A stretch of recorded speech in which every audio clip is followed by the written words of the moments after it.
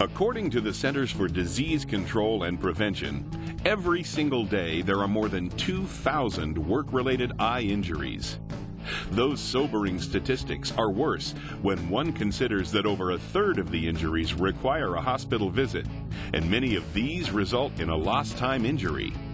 What's worse is many of these injuries could be prevented by using proper controls, protection, and some common sense. Eye injuries are a serious problem. Value your eyes so you won't become a statistic.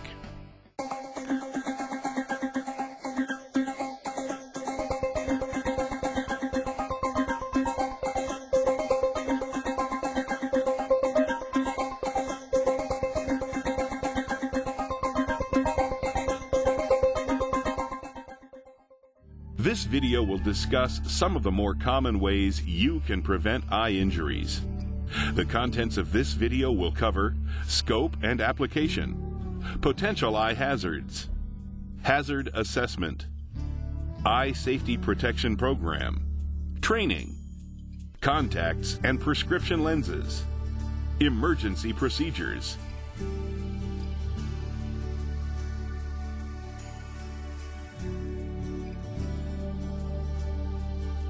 The Occupational Health and Safety Administration, OSHA, mandates that employers provide a safe and healthy workplace for all employees, contractors, and visitors.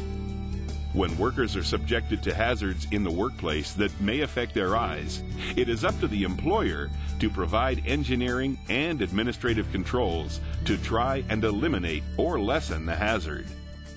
When controls are not sufficient, employers must provide appropriate eye protection or personal protective equipment, PPE, and train employees on its function and proper use.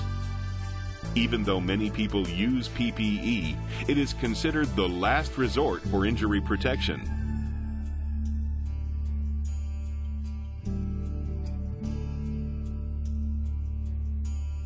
Whether you work in construction, manufacturing, healthcare, or other fields, you are probably at risk of a possible eye injury. While most eye injuries are the result of small particles or objects striking the eye, injuring the tissues, or making abrasions, other types of injuries can occur. Things such as chemical splashes into the eye and looking into a welder's torch without proper protection can also cause injuries. There are many potential eye hazards in the workplace, including strain. Strain can be caused by a variety of reasons.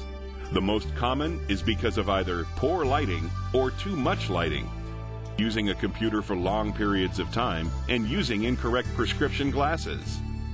And if you drive for a living, eye strain can be a major problem due to the glare of the sun, headlights, and even nighttime driving.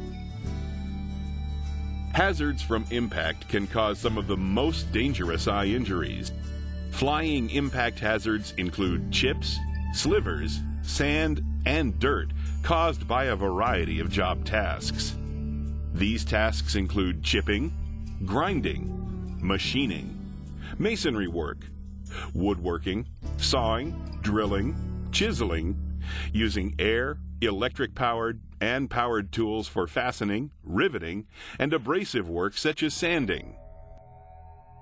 Any operation that emits high heat can be dangerous to the eyes, including furnace operations, kilns, hot pouring, casting, and welding. Chemical hazards include splash, fumes, vapors, and irritating mists caused by such things as acid and chemical handling, degreasing, and working with blood. Even something as simple as mopping can create a chemical hazard. These hazards can be minimized by always handling chemicals properly. Other operations, such as painting, may also cause harmful mists that could cause an eye injury or irritation. Harmful dust which can be created by woodworking, buffing, sandblasting, and general dusty or windy conditions. radiant energy, glare, and intense light caused by welding, torch cutting, brazing, soldering, laser cutting work, laser instruments such as in surveying and copy machines. Workers need not be engaged in an actual work activity to incur an eye injury. Employees and others can incur injuries by working in close proximity to co-workers engaged in the various work activities which create the aforementioned hazards. It is essential to notify your supervisor if a coworker or other activity is affecting your work area and potentially causing you an eye injury.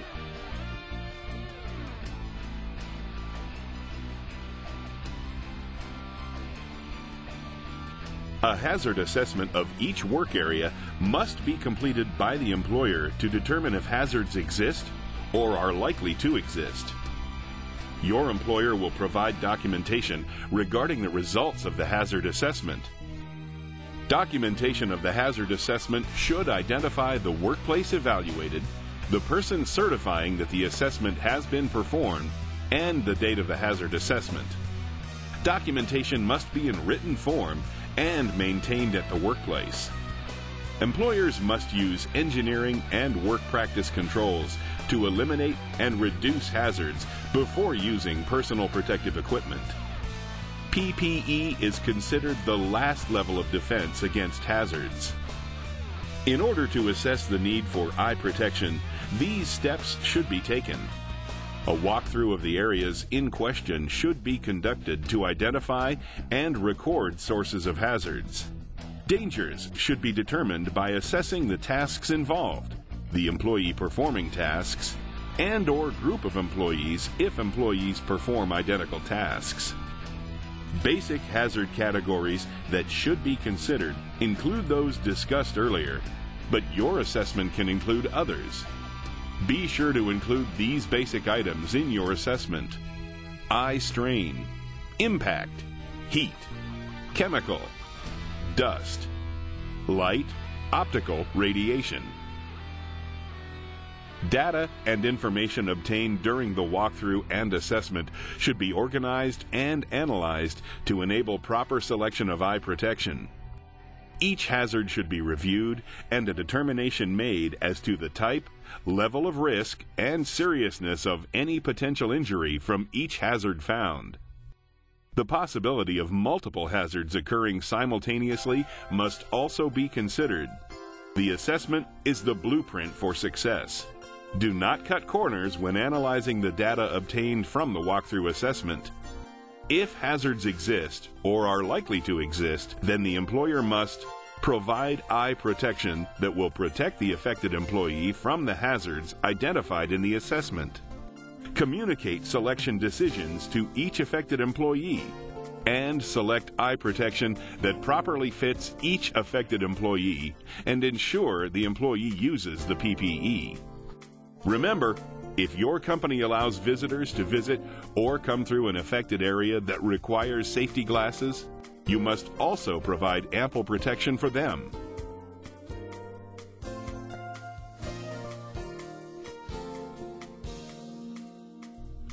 An eye safety protection program is necessary to protect employees from the hazards identified in the hazard assessment. The program should, as a minimum, include selection, fit testing, maintenance and care, and training. As part of the process of hazard assessment, the selection of the proper type of eye protection is paramount.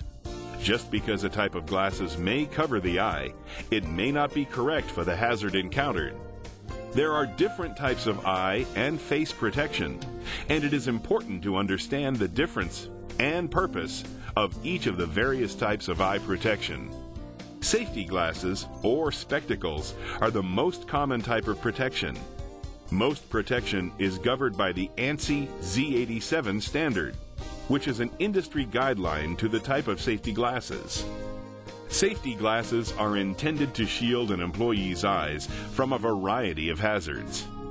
Different lenses are usually required depending upon the hazard. Employees are required to use safety glasses with side shields when there is a hazard from flying objects.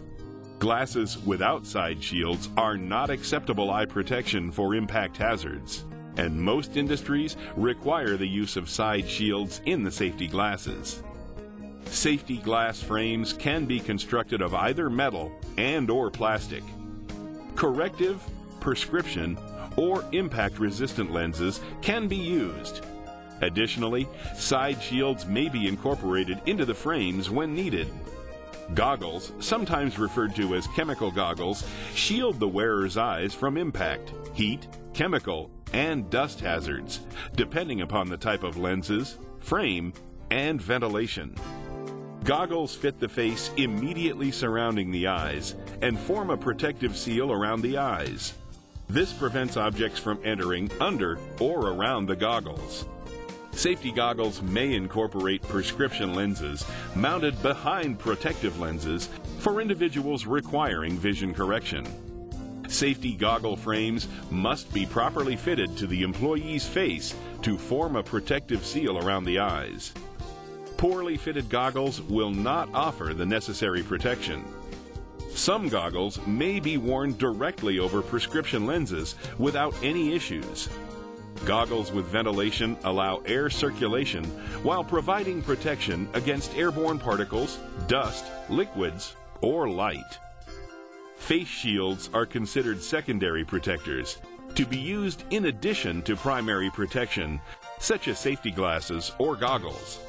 It is always recommended to wear safety glasses or goggles under all types of face shields, including welding face shields. Face shield windows are made with different transparent materials and in varying degrees or levels of thickness. These levels should correspond with specific tasks. Window and headgear devices are available in various combinations to enable the worker to select the appropriate equipment. Wear hard hats in addition to the face shield where indicated. Face shield windows extend from the brow to below the chin and across the entire width of the face. Headgear can be used to support the window shield and secure the device to the head. For welding, be sure that the face shield has the appropriate shade of glass in the shield window for the task to be performed. Shade window numbers are calculated by amount of visible light and are numbered from 2 to 14 based on a mathematical formula. OSHA has a shade recommendation chart. The chart has recommendations for lens filters for specific welding operations. It is highly recommended that you stay within two shades of the number listed. As stated earlier, all eye and face protection must comply with the American National Standards Institute, ANSI Z87.1 standard. All eye and face PPE must be clearly marked to facilitate identification of the manufacturer. The following minimum requirements must be met by all protective devices. Protectors must provide adequate protection against the particular hazards for which they are designed, be of safe design and construction for the work to be performed, be reasonably comfortable when worn under the designated conditions, fit snugly, and not unduly interfere with the movements of the wearer. Be durable. Be easily cleanable. Be capable of being disinfected. Eye protection must meet the criteria for usage for the hazards it is used to protect against. Be sure you are aware of all the hazards the area may be subject to before selecting eye protection. The eye protector may look appropriate for the hazard, but in reality may not provide the correct protection. For instance, lenses can be clear, tinted, photochromic, or polarized. Each type of lens offers different levels of protection. Lenses can be tinted and still provide no protection. Tinting may look good, but may offer little or no extra protection. Always check the PPE manufacturer's guidelines to ensure proper usage and protection. It is important to consider the fit and comfort when choosing and using eye and face PPE. Poorly fitting PPE will not offer the necessary protection and could be damaging to the user. Goggles and safety glasses should be fitted by a professional that is skilled in the fitting procedure. PPE with adjustable features should be fitted on an individual basis to ensure a comfortable fit that maintains the device in the proper position. Prescription safety glasses should be fitted and adjusted by qualified optical personnel, such as an optician. Eye protection from dust and chemical splash should form a protective seal when fitted. Welding helmets and face shields must be properly fitted to ensure they will not fall off during work operations, creating exposure hazards. Maintenance is an important part of any eye protection and PPE program. If a piece of equipment is in need of repair, get it repaired. Do not use it. If it is not repairable, throw it away and get a replacement. All PPE must be used and maintained in a sanitary and reliable condition. Use of PPE with structural or optical defects is prohibited. Examine safety glasses, face shields, etc. before each use. Pitted and or dirty lenses can reduce vision. Clean or replace lenses as necessary. Deeply scratched or excessively pitted lenses are likely to break. Slack, worn, sweat soaked, or twisted headbands will not hold the eye protector in the proper position. A visual inspection will determine if the headband elasticity is reduced to a point beyond correct function. Atmospheric conditions and the restricted ventilation can cause lenses to fog, so that frequent cleaning may be necessary. Eye and face protection equipment should be cleaned and disinfected after being used and before being issued to another employee. Eye and face protection assigned to employees for extended periods should be cleaned and disinfected regularly. Several methods for disinfecting eye protective equipment are possible. It is best to disassemble the goggles or glasses and thoroughly clean all parts with soap and warm water. Carefully rinse all traces of soap and replace defective parts as necessary. Swab thoroughly or completely and immerse all parts for at least 10 minutes in a solution of germicidal deodorant fungicide.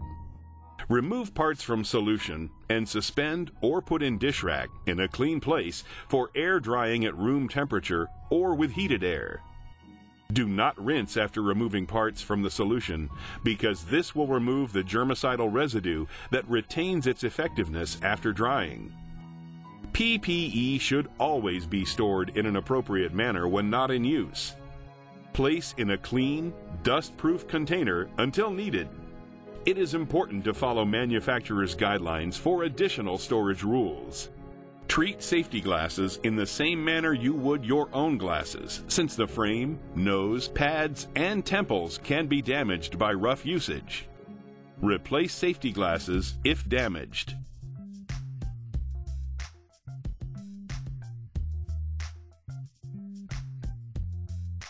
Employees required to use eye protection must be properly trained. They should know at least the following when eye protection is necessary, what eye protection is necessary, how to put on, adjust, wear, and take off, limitations of the eye protection, proper care, maintenance, useful life, and disposal of the eye protection. Training should be conducted by a knowledgeable and experienced person and presented in a manner the employee can understand. Each affected employee must be able to demonstrate an understanding of the training and the ability to use the eye properly before being allowed to perform the work requiring the use of the eye protection. Employers who allow their employees to wear eye and face protection on a voluntary basis when not required by OSHA or the employer must implement limited provisions of an eye safety protection program. Even if eye protection is not mandatory, the employer must follow OSHA training and eye safety protection program for use. For all other voluntary uses, an additional written eye and face protection program that covers proper maintenance procedures must be implemented. Consult the OSHA Regulation Guide for the program outline and guidelines. The employer is required to retrain employees when changes in the workplace render previous training obsolete. Changes in the types of eye protection to be used render previous training obsolete, or inadequacies in an affected employee's knowledge or use of assigned eye protection indicate the employee has not retained the requisite understanding or skill. The employer must verify each affected employee has received and understood the required training via a written certification. The certificate should contain the name of each employee trained, date of training, and subject of training. Records of the training must be kept in a safe place.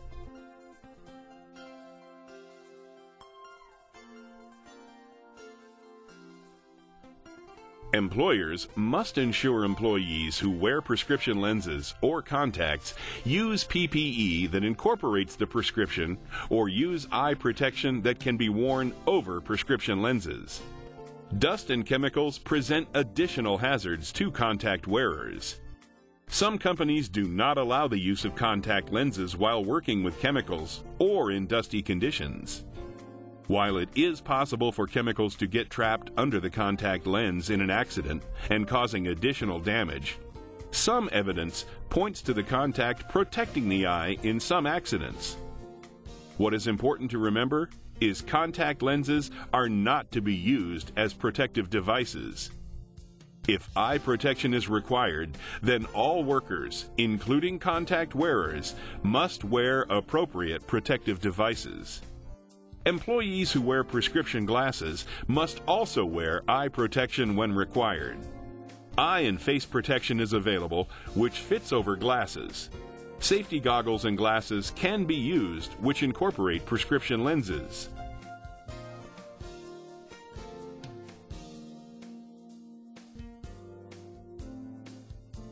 If an eye injury occurs, quick action can prevent a permanent disability.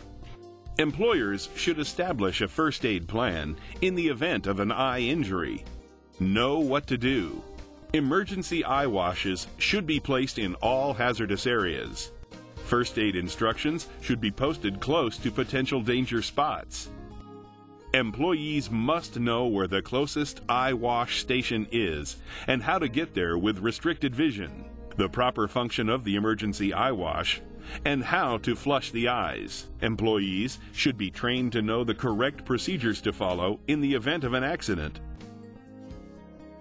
Employees should report accidents to their supervisor as quickly as possible. Seek medical attention immediately if an eye injury has occurred. Time is important when your sight or that of your coworkers is at stake. Even if the injury is minor, report it and let trained medical professionals determine the proper care. Your company will provide detailed instructions on who to call and where to report accidents and injuries.